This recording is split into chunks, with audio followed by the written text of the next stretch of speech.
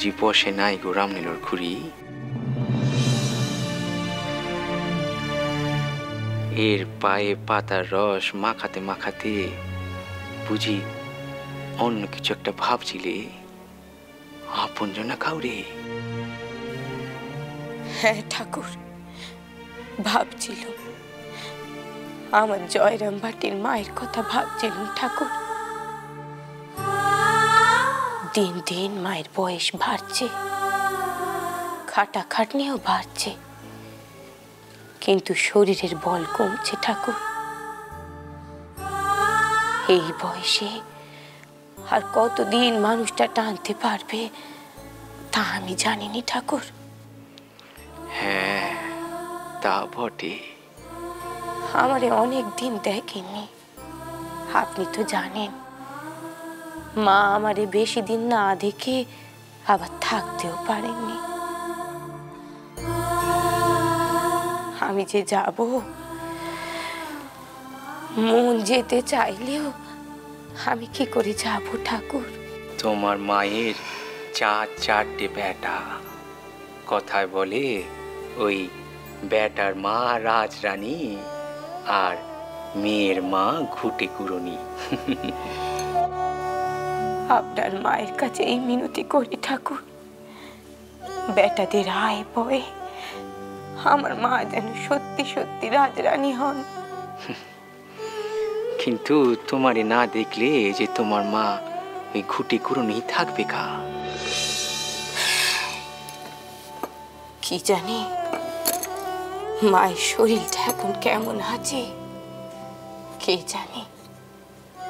এদিকে পেশন সংসারটা বড় হয়েছে। সে তার সংসার সামলাবে নাকি মায়ের সেবা করবে? সংসারের যাতনা তো মা কম ভুগলেননি। এই বয়সে একটু আরামের দরকার। কবে আছে, কবে নেই, কে জানে?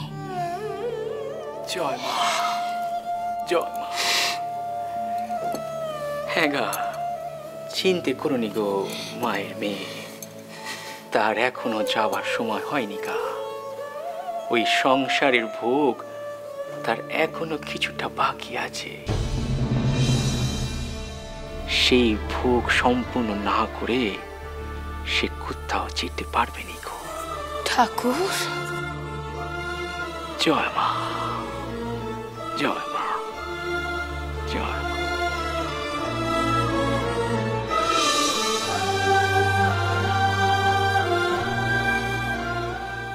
রোগ, ভোগ, শরীরের এক একটা অঙ্গরে।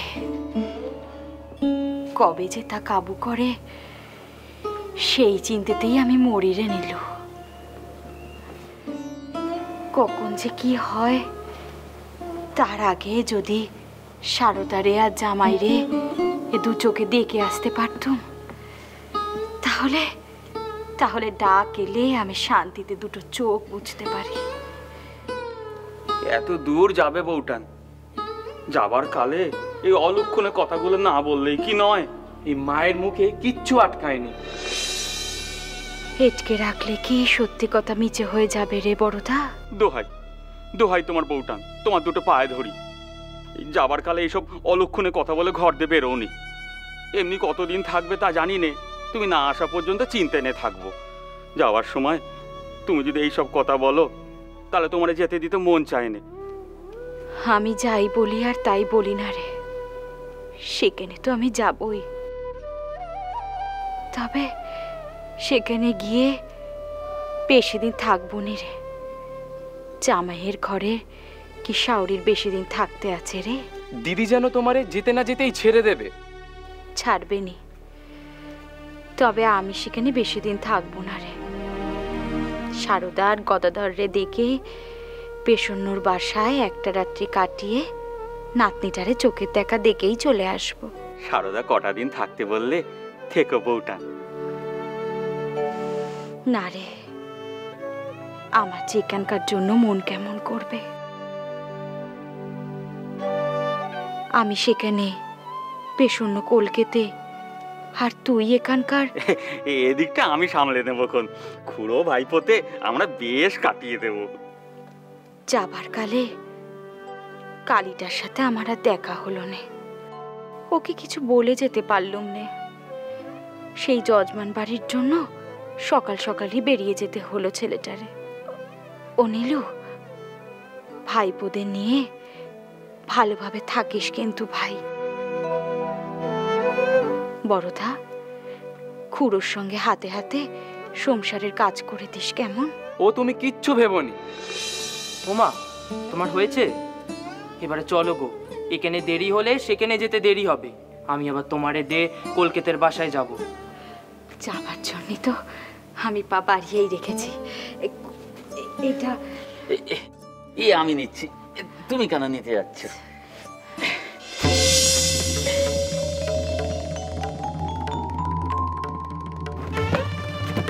বৌটান মা? বৌটান মা কি হয়েছে? ওঠো কি হয়েছে বৌটান চোখ খোলো মা। ওঠো। চোখ খোলো। বৌটান মা কি হলো? ওঠো কি হলো মা? কি? বৌটান বৌটান মা? ও মা কি হয়েছে?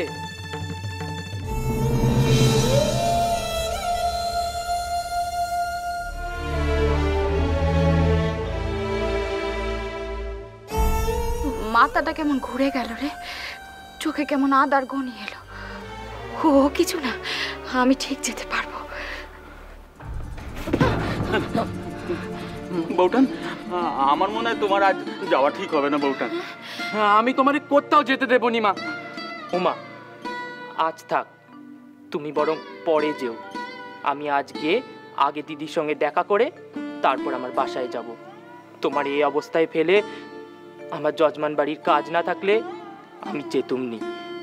কিন্তু যজমান বাড়িতে না গেলে তেনারা অন্য পুজোরই ধরে নেবেন। বড়দা, মায়ের ধরে নিয়ে গিয়ে ঘরে দে। আমি আসি, মা। তুমি সাবধানে থেকো।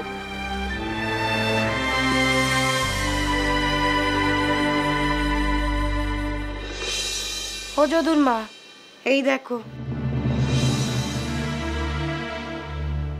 দেখেছ? এইটা দশা কি হয়েছে দেখেছ?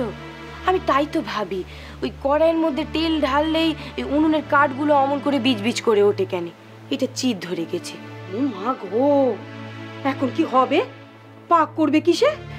ও যদুর মা এক্ষুনি একখানা নতুন করা কিনে আনতেই হবে। ওই আলম বাজারে কড়া দোকান আছে। কিন্তু যাবে কে? তুমি ছুটতে গিয়ে কিনে আনতে পারবে নি? সে পারব নি কেনে? কিন্তু রান্নাঘরে যে অনেক কাজ পড়ে আছে গো মাঠারেন। ও তাও তো বটে।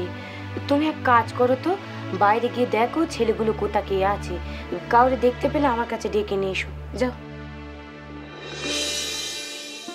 ও মেয়ে তোমার মা ওরকম কড়া নিয়ে দরজার সম্মুখে দাঁড়িয়ে ছিল কেন গা হ্যাঁ? ওটাতে চিট ধরেছে গো বাবা ঠাকুর।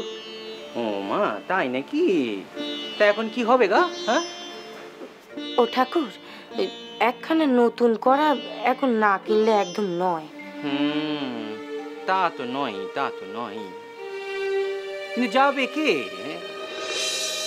তোমার বাজার সরকার তো সেই যে গেছে তারপর আর টিকিটই দেখা যাচ্ছে নি। তাহলে তারে খবর দি সে আসুক তারপর কিনে আনবে খন হ্যাঁ। ও বাবা ঠাকুর তুমি এখন বুড়ো গোপাল দাতারে খবর দেবে সে শীতে দিয়ে আসবে তারপর আলম বাজার থেকে কড়া কিনে আনবে? হুম, কি করা যাবে বলো দেখিনি? সেই তো বাজার সরকার হ্যাঁ? ততক্ষণে পাক হবে কিসে? মাঠারেন তোমারে কি খেতে দেবে? শিশু সেদ্ধ ভাত? ও হো তাই তো। কথাটা যে আমি একেবারেই ভুলে গিয়েছিলাম। কলমি শাক সজনে খাড়া চচ্চড়ি ওই কাঁচকলা দিয়ে শিঙি মাগুর মাছের ঝোল। পাক হবে কিসে। এখন কি হবে গামে ঠাকুর। ঠাকুর? হ্যাঁ। এই নিন দিদি ঠাকুরের জন্য লেবু এনেছি। হুম, হুম, যাও। ঠাকুর আমি কুটি করে যাচ্ছি। হ্যাঁ এই যোগিন যোগিন। হুম দাঁড়া দাঁড়া দাঁড়া। হ্যাঁ তোর মায়ের না ভারী বিপদ হয়েছে না হ্যাঁ। ভাইয়ের বিপদ? মানে? ও যোগিনের মা ব্যাটারে বলো না তোমার সমস্যার কথাটা বলো। হ্যাঁ রে বাবা দেখ না কড়াখানা একেবারে ফুটো হয়ে গিয়েছে। একখানা এক্ষুনি নতুন করা না কিনলে নয়। আমি এক্ষুনি করা নিয়ে আসছি। ও যোগী দাঁড়া রে দাঁড়া দাঁড়া দাঁড়া ওর বাবা রে দাঁড়া দাঁড়া। ও ও কটা পয়সা নিয়ে যা। ও ও যোগিনের মা ওরে কটা পয়সা দাও দেখিনি। আর শোন ভালো করে দেখে শুনে আনবি আর ছুটতে যাবি দৌড়ে আসবি। আমি যাই গো আমি যাই হ্যাঁ আমি যাই হ্যাঁ। ও বা ধর দেখি। আমি এক্ষুনি আলমবাজার থেকে কড়া কিনে নিয়ে আসছি। যাক বাবা। এবার একটু নিশ্চিন্ত হলাম। ওই দেখো তুমি এখানে দাঁড়িয়ে রইলে কেন? যাও হাতের কাজগুলো সেরে ফেলো যাও দেখি। সে না হয় যাচ্ছি কিন্তু যোগিন জমিদারের বেটা সে কি করা কিনতে পারবে? ও সে কিনগা সব চেনে গো যদুর মা। পারলে একমাত্র ওই পারবে। বাবু রাম ঠাকুর। জয় মা জয় মা জয় মা জয় মা। হ্যাঁ রে বাবু রাম সেই যে গেলি আর তো এলিনি এই বুঝি মনে পড়ল হ্যাঁ রে? আপনার কথা সব সময় মনে পড়ে ঠাকুর সব সময়। তাহলে আসিস নি কেন এতদিন? না নানা কারণের মধ্যে ঠাকুর আপনার পাটা বেশ ফোলা ফোলা লাগছে। কিছু হয়েছে পায়ে।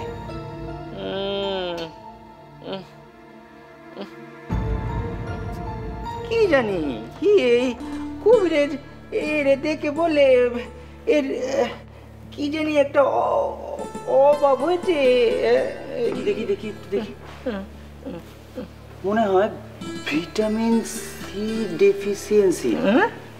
মানে আপনার শরীরে ক্যালসিয়ামের অভাব হয়েছে। আপনাকে লেবু খেতে হবে। খাই তোরা খাই তো ওই যোগিন এনে দেয় নেবু খাই। যোগিনকে? ওই তোর মতো একজনা এই, এ শরীরে যেমন একটা কিছুর অভাব হয়েছে, তোর মতো তারও মনে ভাবের অভাব হয়েছে। তাই এখানে এসে সে মন ভরে ভাব নিতে। ভাব? হ্যাঁ রে, ভাব। ওই নদী, নালা, খাল, বিল দিয়ে ঘুরপথে ভাবের ডুবুরিরা সমুদ্রের খোঁজের জন্য ছুটছে। কিন্তু সমুদ্রের দিশে আর পাচ্ছিনি বানে যখন ভাবসাগর উতলে উঠবে, তখন আর ঘুরপথে সমুদ্রের দিকে যেতে হবে নি। ভাবসাগর উতলে উঠলে তখন ড্যাঙাই এক বাস জল। বুঝলি বুঝলি নি তো? না থাক বুঝতে হবে নি হ্যাঁ যখন সময় আসবে তখন বুঝবি খন। হ্যাঁ। জয় মা জয় মা জয় মা। এখন দেখি যোগিন কেমন করা কিনে আনে। দেখি বলি ও জমিদারের বেটা তুমি কি চোখ বন্ধ করে করাটা কিনলে নাকি গা? কেন কি হয়েছে? তোমারে তখনই বলেছি মা যোগিন জমিদারের বেটা ও এসব কিনতে পারবে নি। বলল তো যদুর মায়ের কথা গরিবের কথা বাসি হলে সত্যি হয়। কি হয়েছে মা? কড়াটার কি কোনো সমস্যা হয়েছে? দোকানদার আমাদের চেনা। চেনা বলেই চিনতে পেরেছে তোমারে। আমি ঠিক বুঝলাম না। ও বা এই কড়াটা ফাটা রে।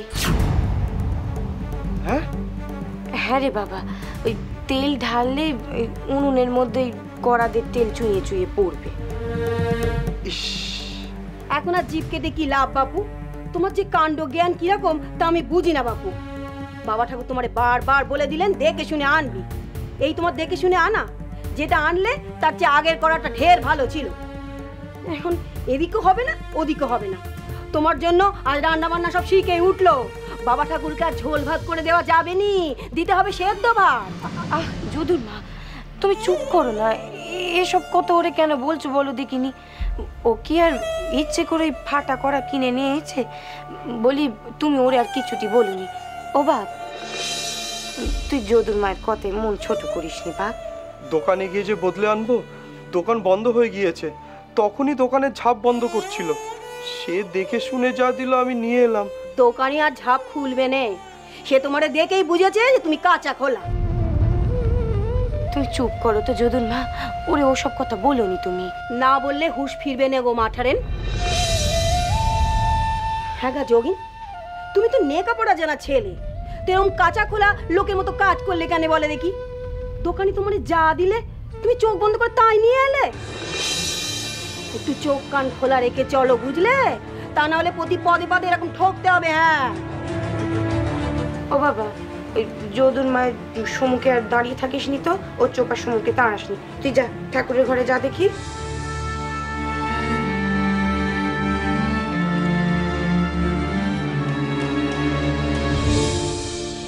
এখন কি হবে মা ছাড়েন ভেবনি গো যদুর মা সব ঠিক হয়ে যাবে। যোগিনকে নিয়ে আমার বড় ভয় করে বৌমা। ছেলে আমার ইংরেজি স্কুলে পড়াশোনা করেছে।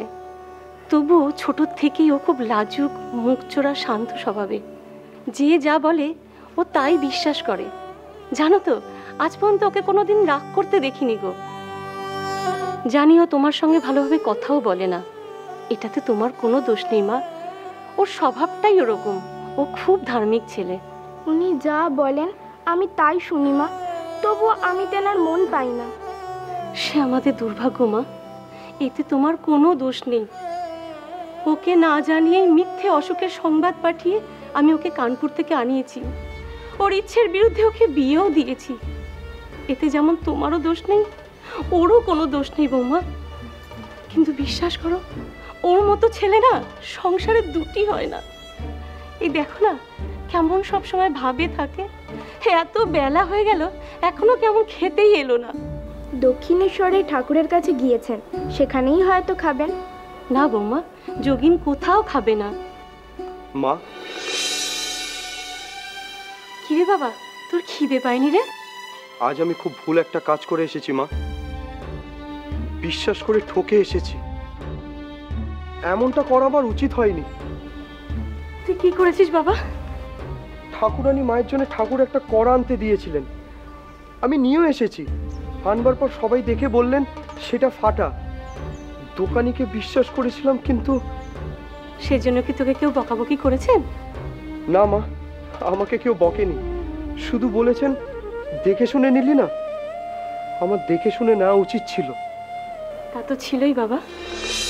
তা যখন করিনি তখন মা ঠাকুরানি আমাকে বকলেন না কেন? কেন বকবেন তোকে? তিনি তো বুঝেইছেন তুই ভুল করেছিস বিশ্বাস করে।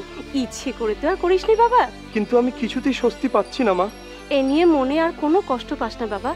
ঠাকুর তোকে জানেন তিনি তোকে কখনো ভুল বুঝবেন না। তিনি কি তোকে কিছু বলেছেন? কি বলেছেন? আমার নিজেকে এত অপরাধী মনে হচ্ছিল আমি ঠাকুরের সাথে দেখা না করেই চলে এসেছি। পালিয়ে এসেছিস তা বলে ঠাকুর বলেন এক রাম তার হাজার নাম। যত নোক দেখি তত দেখি সবাই ধম ধম করে একে অপরের সাথে মারপিট করছে ঝগড়া করছে হ্যাঁ হ্যাঁ। সে ওই হিন্দু বলো কি মুসলমান বলো কি খ্রিস্টান বলো কি শাক্ত বলো কি বৈষ্ণব। সবাই সবার সাথে মারপিট করছে গা। হ্যাঁ, সবাই সবার সাথে মারপিট করছে। হ্যাঁ, সবাই বলছে তার ধর্ম বড়। কিন্তু সবাই কিন্তু চাইছে সেই তেনারে হ্যাঁ, ভুজছে সেই একই জনারে। ভিন্ন ভিন্ন নামে ভিন্ন ভিন্ন ধামে।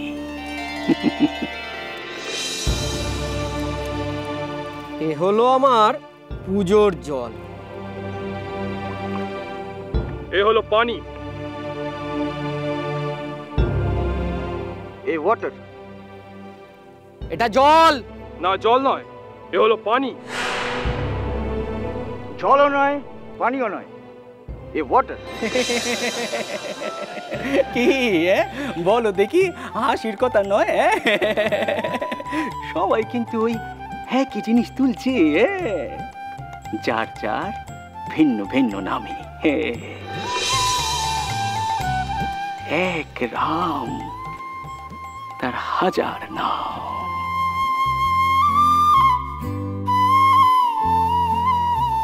সবাই কিন্তু ওই একজনারই চাইছে গো একজনারই জয় মা জয় মা জয় মা।